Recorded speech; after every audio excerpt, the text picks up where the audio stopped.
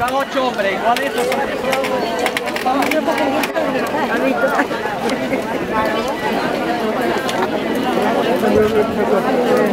no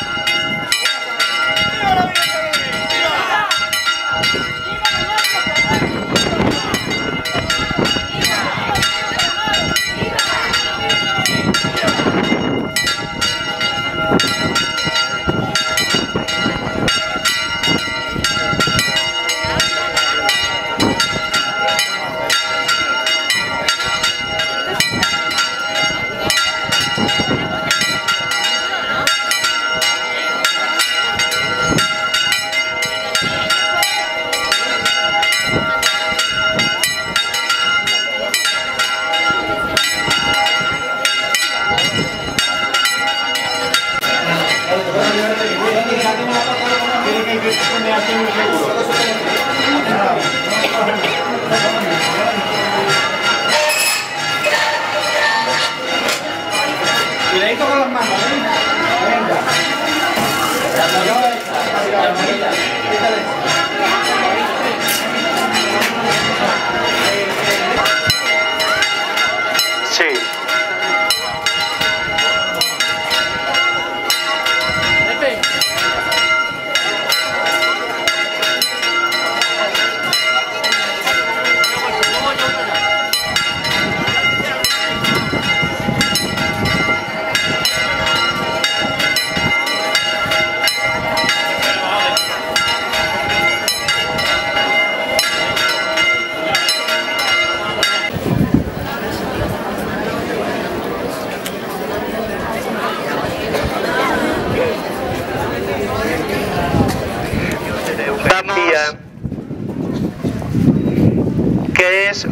Una acción de gracias a Dios nuestro Padre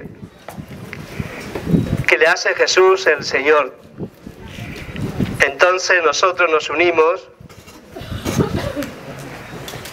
dándole gracias a Dios nuestro Padre por todas las cosas buenas que nuestra Madre la Virgen tiene para cada uno de nosotros y para el pueblo de Palma del Río y para todos los que le visitan. Yo os invito a celebrar esta Eucaristía y ofrecerla por todos los difuntos ya conocidos o no conocidos, todos los difuntos palmeños. Y también que tengamos presente en esta Eucaristía, pidiéndole a nuestra Madre por todos los enfermos, por todos aquellos que los cuidan.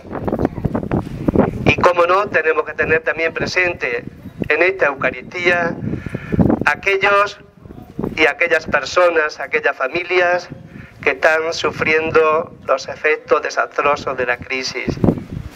Vamos, con todas estas motivaciones, yo creo que tiene sentido el que vivamos con Honduras esta Eucaristía. En el nombre del Padre y del Hijo y del Espíritu Santo, sentido podría tener ese hecho. Por eso, mm, para nosotros, María Santísima de Belén, queremos que más que la reina sea esa reina nuestra, reina mía, que llevamos cada uno de nosotros en nuestro corazón. La segunda reflexión ha sido el hecho de que todos nosotros le hemos entregado las llaves de nuestra ciudad. Y si le hemos entregado las llaves, estamos diciendo y expresando que María puede entrar en nuestras casas, o mejor dicho, que queremos que entre en nuestras casas.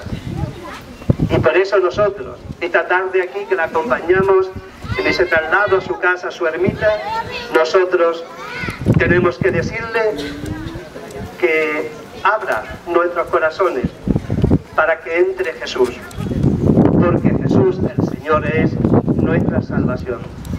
Da igual que seamos altos o bajos. E igual que seamos mal vistos por la gente o mejores vistos por la gente. Saqueo era bajo de estatura. Saqueo era más bien un sinvergüenza porque era publicano y se aprovechaba en, en cobrar los impuestos. Pero sin embargo, Saqueo se alegra cuando Jesús le dice que quiere ir a comer a su casa. Por eso nosotros, la petición a nuestra Madre tiene que ser que sí, que entre Jesús, que abra nuestros corazones para que pueda entrar Jesús, el Señor, nuestra salvación. Porque estoy seguro y estoy convencido, y es una firme convicción en mi vida, que Jesús es la salvación para aquellos que le buscan, a igual que Saqueo.